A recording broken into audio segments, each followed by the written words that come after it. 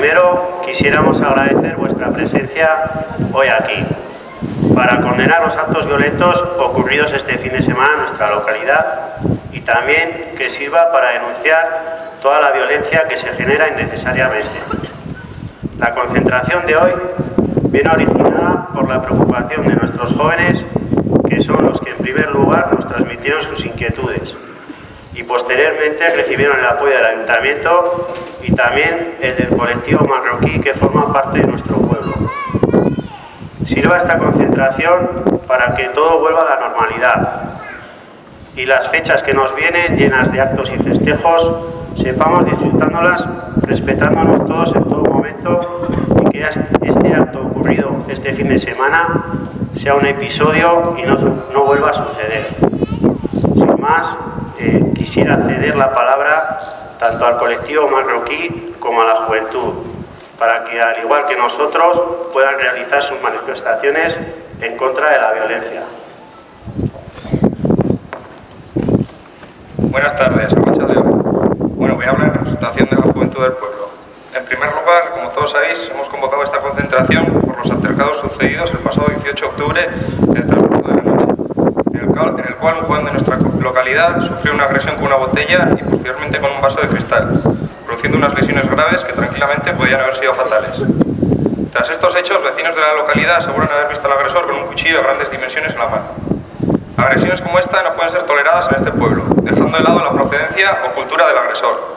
Por eso queremos condenar a todos los aquí presentes estos hechos, insistiendo que sea quien sea y proceda donde proceda el agresor, no se vuelvan a repetir acciones tan lamentables como estas y poder tener una armonía y tranquilidad en esta localidad.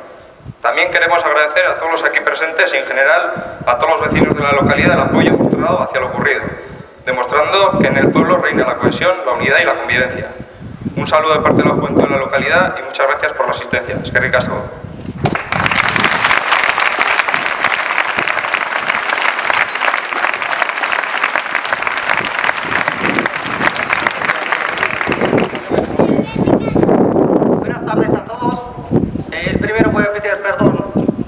A todo el pueblo. Y la segunda, pido que vivir y dejar vivir. Y la tercera, pedimos hay que respetar la convivencia, por favor. Y lo deseo buenas fiestas a todos.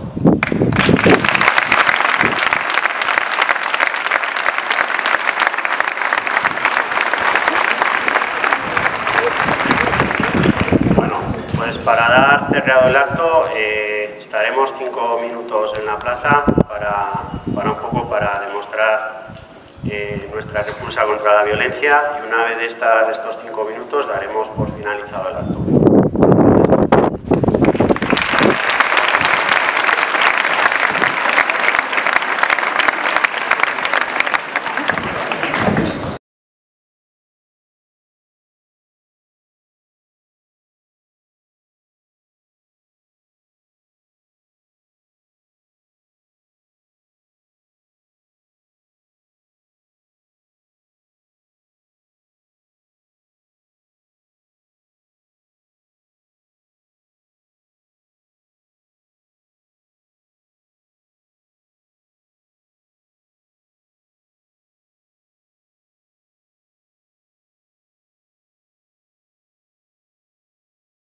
Esperamos que la próxima vez que estemos aquí reunidos sean por actos de nuestro índole y muchas gracias por venir, gracias por todo. Estamos por cerrar el acto.